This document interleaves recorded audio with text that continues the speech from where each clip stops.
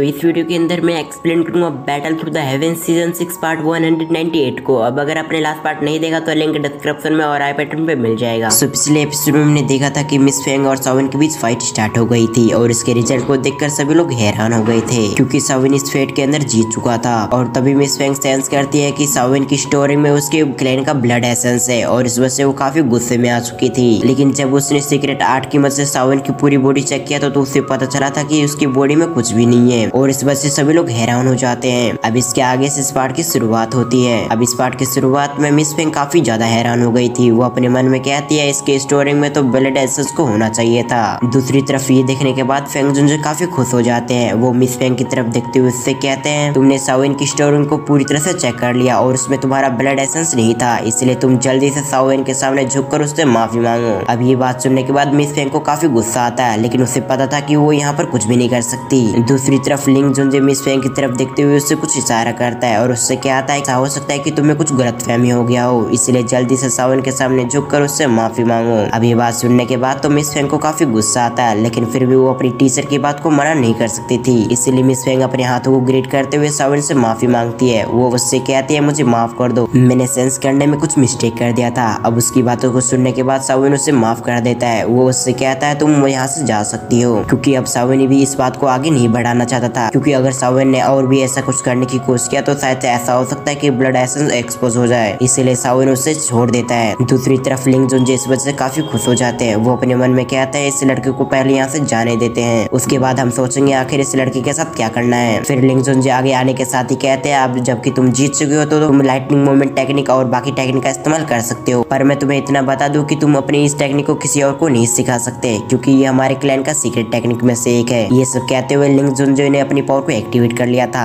दूसरी तरफ़ साउन भी उसकी बात पूरी तरह से समझ चुका था, इसलिए वो उससे कहता है आप बिल्कुल बेफिक्र रहे। मैं इस टेक्निक को किसी और को नहीं सिखाऊँगा। अगर हम फेंग जुंजे को देखते हैं, वो आगे बढ़ते हुए लिंग जुंजे से कहते हैं, अब जबकि यहाँ पर सब कुछ खत्म हो चुका है तो हमें भी चलना चाहिए। क्योंकि जबकि यहाँ पर सभी डिसाइपल काफ़ी घायल हो चुके हैं, इसलिए हम इस कॉम्पिटिशन को आगे नहीं बढ़ा सकते। क्योंकि कॉम्पिटिशन के दौरान सभी लोगों ने मिस फैंग की पावर देख ली थी, और इसीलिए सबको पता चल चुका था की इन चारों डिसाइपल के अंदर से मिस फैंग सबसे पावरफुल है। अब कुछ समय ऐसे डिस्कस करने के बाद फेंग जुंजे सभी से कहते हैं, फिर हमें यहाँ से चलना चाहिए। ये कहने के साथ वो सावन और बाकी लोगों के साथ यहाँ से जाने लगते हैं। और कुछ समय के अंदर एरिना से सभी लोग यहाँ से निकल चुके थे और आखिरी में बचे हुए थे विंड राइटिंग पवेलियन के लोग। दूसरी तरफ़ लिंग जुंजे मिस फैंग की तरफ़ देखते हुए उससे कहते हैं, क्या तुम्हें पूरी तरह से यकीन है की सावन के बॉडी के अंदर से ब्लड एसेंस को महसूस किया था? अब अपनी मास्टर की बात सुनने के बाद वो अपने सर को हाँ मिलाती है और वो उससे कहती है, मैं पूरी तरह से सौर हूँ की सावन के बॉडी के अंदर से हमारे कल्याण का ब्लड एसेंस था, लेकिन मुझे ये बात समझ में नहीं आ रही कि आखिर उसने अपनी बॉडी के अंदर कहाँ पर उस चीज़ को छुपा लिया। अब इस चीज़ को सुनने के बाद लिंग जुंजे के चेहरे पे स्माइल आ चुका था। वो मिस फैंग की तरफ़ देखते हुए उससे कहता है, जाओ और तुम अपनी क्लैन को इसके बारे में इन्फॉर्म करो कि सावन के पास ब्लड एसेंस है। अब जो भी करना होगा वो तुम्हारे क्लैन को लोग करेंगे। अब अपनी मास्टर की पूरी बात सुनने के बाद मिस फैंग अपने सर को हाँ मिलाती है और उससे कहती है, जी मास्टर ये कहने के साथ वो अपने फिनिक्स पे बैठ कर वहाँ से चली जाती है। अब मिस फैंग को जाते देख लिंग जो अपने मन में कहते हैं, तुम तो विद परमिनेंट से बच गए थे सावन, पर फिनिक्स टैप से कैसे बचोगे? ये कहने के साथ ही उसके चेहरे पे स्माइल आ चुका था। अब दूसरी तरफ़ हम सावन और बाकी लोगों को देखते हैं जो कि एक जगह पे आ चुके थे और अभी के समय अंधेरा भी हो चुका था। सीन शिफ्ट कर हम सावन को देखते हैं। सावन अपनी ग्रीन फ्लेम को एक्टिवेट करते हुए लगातार उसी को देख रहा था। अब अपनी ग्रीन फ्लेम को देखता देख फैंग जो वहाँ पर आने के साथ ही सावन से सवाल करते हैं, आखिर तुम इसके अंदर क्या देख रहे हो? अब उसके सवाल करते वहाँ पर तीन ब्लड एसेंस आ चुका था। अब ये देखने के साथ ही सभी लोग हैरान हो जाते हैं। फैंग जो सावन से कहते तो तुमने ब्लड एसेंस को फ्लेम के अंदर छुपा रखा था और इसी कारण से किसी को भी नहीं पता चला कि ब्लड एसेंस तुम्हारे फ्लेम में है। लेकिन दूसरी तरफ़ ये बात सुनने के बाद भी सावन रिप्लाई नहीं देता। अब उसे ऐसा करता देख फेंग जुंजे उससे कहते क्या तुम्हारे साथ कुछ गलत हुआ है? लेकिन फिर भी हम सावन को देखते हैं, जो की एक जगह शांत खड़ा हुआ था। और अभी के समय सावन की शक्ल को देखने से ऐसा लग रहा था की सावन काफ़ी तकलीफ़ में है। लेकिन तभी फेंग जुंजे उन तीनों ब्लड एसेंस को देखने के बाद बहुत ज़्यादा हैरान हो जाते हैं। वो अपने मन में कहते हैं, ये तो एक डॉजों का ब्लड है। फिर वो गहरी सांस लेने के साथ ही सावन से कहते हैं अच्छा हुआ कि किसी को भी नहीं पता चला कि तुम्हारे पास ब्लड एसेंस है। क्योंकि अगर ब्लड एसेंस सभी के सामने रिवील हो जाता तो तुम काफ़ी ट्रबल में फंस सकते थे। और अब जबकि उन्हें ब्लड एसेंस नहीं मिला तो मुझे नहीं लगता कि तुम किसी मुसीबत में फंसोगे। लेकिन फिर भी तुम सावधान रहना, क्योंकि अभी के समय सभी की नज़र तुम पर रहेगी। लेकिन दूसरी तरफ़ हम सावन को देखते हैं, जिसे अभी काफ़ी पेन हो रहा था, क्योंकि उस समय सावन ने ब्लड एसेंस को छुपाने के लिए अपने फेवली फ़िल्म के अंदर ब्लड एसेंस को डाल दिया था। सावन अपने मन में कहता ब्लड एसेंस का चार ड्रॉप मैंने हेवली फ़िल्म के अंदर छुपाया हुआ था। लेकिन मैं हेवली फ़िल्म से तीन ब्लड एसेंस को निकाल पाया हूँ। लगता है की चौथा ब्लड एसेंस मेरे बॉडी के साथ मर्ज हो रही है। अगर ऐसी बात है तो मुझे जल्द से जल्द उस ब्लड को एग्जॉर्ब करना होगा। क्योंकि अगर मैंने जल्द से जल्द उसे रिफाइन नहीं किया तो ये मेरे लिए काफ़ी मुश्किल हो सकता है। ये कहने के साथ ही सावन उस बीच से उतर के एक पहाड़ पे आ जाता है, ताकि वो ब्लड एसेंस के साथ अपनी बॉडी को मर्ज कर सके। सीन शिफ्ट कर हम लिंगजी और मिस मो को देखते हैं, जो की सावन के ऐसे हरकत करने की वजह से हैरान होते हैं। लेकिन तभी फैंग जो उन्हें बताता है की ब्लड एसेंस को एग्जॉर्ब करना सावन के लिए काफ़ी डिफ़िकल्ट है, क्योंकि ये ब्लड एसेंस फिनिक्स ट्रैप से है, इसीलिए इसके अंदर काफ़ी पावर होती है। और कोई आम इंसान इस ब्लड एसेंस को अपनी बॉडी के साथ मर्ज नहीं कर सकता, लेकिन सावर ऐसा करने की कोशिश कर रहा है। शायद ऐसा हो सकता है कि सावेर उस ब्लड एसेंस को अपने बॉडी के अंदर से नहीं निकाल पा रहा है, इसलिए वो अपनी बॉडी के साथ उसे मर्ज करने की कोशिश कर रहा है। अब उसकी ये बात सुनते ही दोनों हैरान हो जाते हैं और काफ़ी हैरानी से सावन की तरफ़ देखने लगते हैं, जहाँ पर उन दोनों को महसूस होता है की सावन के अंदर से काफ़ी मात्रा में एनर्जी निकल रही है। अब इस चीज़ को देखते ही फेंग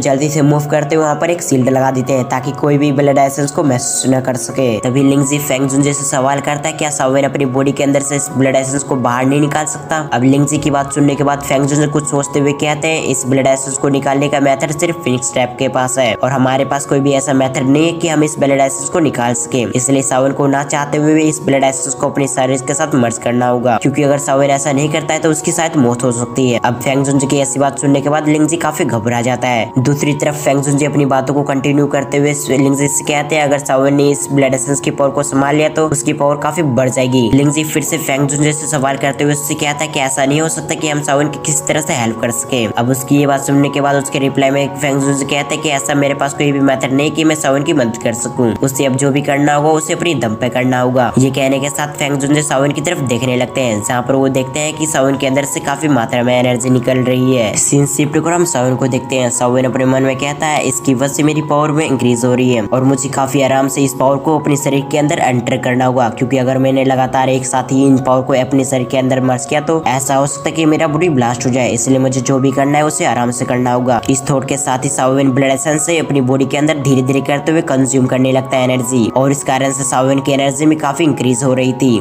दूसरी तरफ़ ये देखकर सभी लोग रिलीफ फील करते हैं। वो सभी गहरी सांस छोड़ते हुए कहते हैं, ये अच्छी बात है की सावन ने अपनी इस एनर्जी को काफ़ी अच्छे से मेंटेन कर रखा है। लेकिन इतना तो पक्का है सावन को अभी के समय काफ़ी पेन हो रहा होगा। दूसरी तरफ़ हम सावन के चेहरे को देखते हैं, जो की अभी पूरी तरह से रेड निशान से भर चुका था। सावन अपने मन में कहता है जैसे जैसे मैं इस ब्लड एसेंस को कंज्यूम कर रहा हूँ, उसी तरह से मेरी पेन भी काफ़ी बढ़ रहा है। हमारा सीन शिफ्ट कर मिस पे आ जाता है। मिस अपने मास्टर से कहती है, लगता है सावन के साथ कुछ गलत हुआ है। मिस की ये बात सुनते ही फेंगजू से कहते हैं, ये बिल्कुल सही है सावन के साथ कुछ गलत हुआ है। ये कहने के साथ वो सावन की बॉडी को स्कैन करने लगते हैं, जहाँ पर उन्हें पता चलता है की सावन की कुछ समय के अंदर बॉडी एक्सप्लोड होने वाली है। अब फेंग की बात सुनते ही दोनों काफ़ी हैरान हो जाते हैं। तभी हम फेंग को देखते हैं, जो की अपनी जगह से डिसअपेयर होते हुए सावन के पास आ चुके थे। फेंग अपने मन में कहता है, लगता है ये लड़का इस एनर्जी को संभाल नहीं सकता है इसलिए मुझे इसके मैटर में एंटरफेयर करना ही होगा। ये थोट के साथ ही वो अपने हैंड को सावन की तरफ़ ले जाने लगते हैं। तभी मिस मुँह से रोकते हुए कहते हैं मास्टर अगर आप ऐसा करने की कोशिश करते हो तो सावन की बॉडी एक्सप्लोड भी हो सकती क्योंकि अभी के समय सावन की बॉडी में काफ़ी मात्रा में एनर्जी भरी हुई है। और अगर आपने भी अपनी एनर्जी को सावन की बॉडी के अंदर डाला तो सावन के साथ कुछ गलत हो सकता है। अब मिस मूवी की ये बात सुनते फेंग अपने हैंड को रोक लेते हैं। फिर वो अपने हैंड को पीछे लेते हुए उससे कहते हैं, अगर सावन कुछ समय में ठीक नहीं हुआ तो मुझे इस मैटर में एंटरफेयर करना ही होगा। ये कहने के साथ वो अपने पैरों को पीछे ले लेते हैं। दूसरी तरफ़ हम साउन को देखते हैं, जो की अपनी बॉडी से लगातार एनर्जी रिलीज़ कर रहा था। और साउन की पूरी बॉडी में रेड रेड निशान आ चुकी थी, जैसे की अगली पर साउन की बॉडी डिस्ट्रॉय हो जाएगी। अब ये देखने के साथ ही सभी लोग परेशान हो जाते हैं, क्योंकि वो लोग कुछ भी करते हुए साउन के बीच में एंटरफेयर नहीं करना चाहते थे। लेकिन साउन की ऐसी सिचुएशन को देखते हुए फैंक अपने मन में कहते हैं, अगर कुछ समय ऐसा रहे तो मुझे इस मैटर में एंटरफेयर करना ही होगा। ये सोचने के साथ ही वो वेट करने लगते हैं, लेकिन जब वो देखते हैं कि साउन की कंडीशन और भी बिगड़ रही है तो उनका सब्र टूट चुका था। इसीलिए वो कहते हैं, मुझे अब सावन की मदद करनी ही होगी। ये कहने के साथ वो अपने हाथों में एनर्जी को इकट्ठा करने लगते हैं, लेकिन तभी वो किसी चीज़ को महसूस करने के साथ ही काफ़ी ज़्यादा हैरान हो जाते हैं और उन्होंने अपने हाथों को पीछे रख लिया था। वो अपने मन में कहता है, आखिर ऐसा कैसे हो सकता है? क्योंकि अब तक सावे ने अपनी आँखें खोल ली थी और उसके एक चिक के साथ उसके अंदर से एनर्जी निकलने लगती है। उसी समय सावे ने अपने हैंड स्टिल को क्रिएट करने लगता है और कुछ समय के अंदर उसके बोन विंग्स आ चुके थे। अब उन बोन्स विंग को देखने के साथ ही सभी लोग और भी हैरान हो जाते हैं, क्योंकि ये विंग्स फिनिक्स टाइप के फिनिक्स से बना हुआ था। अभी इसे देखने के बाद ही वो सभी हैरानी से कहते हैं, ये तो फिनिक्स टाइप का कोई बीस्ट से बना हुआ विंग्स है। अब इस विंग्स की वजह से सावन के अंदर से एनर्जी और भी इंक्रीज होने लगती है, जिस वजह से वहाँ पर जो सील लगे हुए थे वो टूट जाता है। और दूसरी तरफ़ लिंगजी और मिसमू वो भी पीछे धकेल जाती है, क्योंकि साविन की एनर्जी काफ़ी इंक्रीज हो चुकी थी। और अगली पर साविन की बॉडी हवा में फ्लोट करने लगती है, जिसे देखने के बाद वो सभी कहते हैं, उन्होंने इस वक्त का एक्सपेक्ट नहीं किया था कि साविन इन ब्लड को रिफाइन कर सकता है। लेकिन फिर भी साविन ने इन ब्लड एसेंस पे जीत हासिल करते हुए इनको सक्सेसफुली रिफाइन कर लिया, और इस कारण से उससे भी काफ़ी खुश हो गए थे।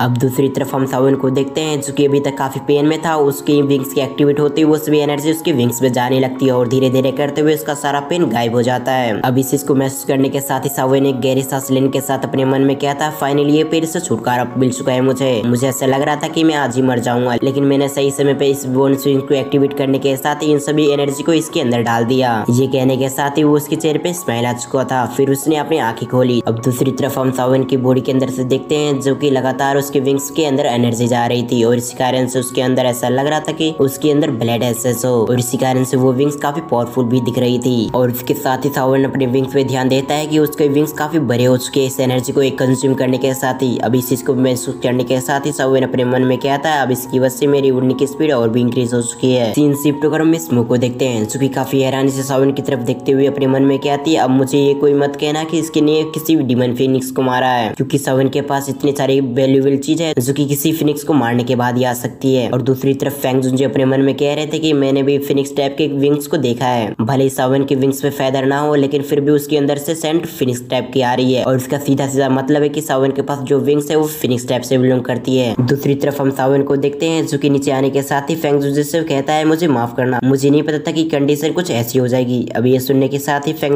उससे कहते हैं, तुम अपनी विंग्स का कम से कम इस्तेमाल करने की कोशिश करना है क्योंकि अगर उन्हें पता चला कि तुम्हारे पास विंग्स के साथ साथ साथ ब्लड एसेंस भी है तो वो तुम्हें बिल्कुल नहीं छोड़ेंगे। और साथ साथ वो काफ़ी सारे एक्सपर्ट को भेजने के साथ ही तुम्हें जान से मारने की कोशिश करेंगे। अब दूसरी तरफ़ साउन भी इस बात को काफ़ी अच्छी तरह से जानता था, इसलिए वो फैंक जुंजे की तरफ़ देखते हुए उससे ग्रीट करते हुए उससे कहता है, मुझे माफ़ करना की मेरी वजह से आपको इतनी तकलीफें झेलनी पड़ी, और जहाँ तक रही इन विक्स की बात तो मैं इसे छुपा के रखूँगा। और दूसरी तरफ़ उन ब्लड एसेंस को मैंने कंज्यूम कर लिया है, इसलिए किसी को भी नहीं पता चलेगा की मेरे पास ब्लड एसेंस था। अब इस बात को सुनने के बाद फैंक जुंजो एक नोट कर देते हैं। फिर सवन अपने स्टोरिंग से कपड़ा निकाल के अपने चेहरे को साफ़ करता है। उसके बाद वो अपनी बॉडी को एक जगह टेस्ट करता है तो सावन को थोड़ा बहुत महसूस होता है कि उसकी बॉडी थोड़ी बहुत बीस्ट की तरह हो चुकी है। अभी इस चीज़ को महसूस करने के साथ ही कि वो काफ़ी पावरफुल हो चुका है उसके चेहरे पे, एक बड़ी सी स्मेल आ चुकी थी। सावन अपने मन में कहता है, अगर मैं अपनी थ्री थाउज़ेंड लाइटिंग मूवमेंट और अपनी विंग्स के एक्टिवेट करने के साथ ही फेर चैन से लड़ू तो अब मैं उसकी स्पीड को भी टक्कर दे सकता हूँ। ये कहने के साथ ही हमारा ये पार्ट यहाँ पर एंड होता है। अब अगर आपको एक्सप्लेनेशन अच्छी लगे तो वीडियो को लाइक करके चैनल को सब्सक्राइब करें। इसके साथ साथ बेल आइकन कॉल पे प्रेस करना ना भूलें। अगर आप इसका सेकंड पार्ट देखना चाहते तो फटाफट इस वीडियो पे 200 लाइक्स कंप्लीट करवा दो। जैसे इस वीडियो पे 200 लाइक्स कंप्लीट होंगे, उस समय मैं सेकंड वीडियो अपलोड कर दूँगा। तो फिर मैं मिलता हूँ किसी और वीडियो में। जब तक थैंक्स फॉर वॉचिंग अब अगर आपने लास्ट पार्ट नहीं देगा तो एंड स्क्रीन पे आ रहा होगा।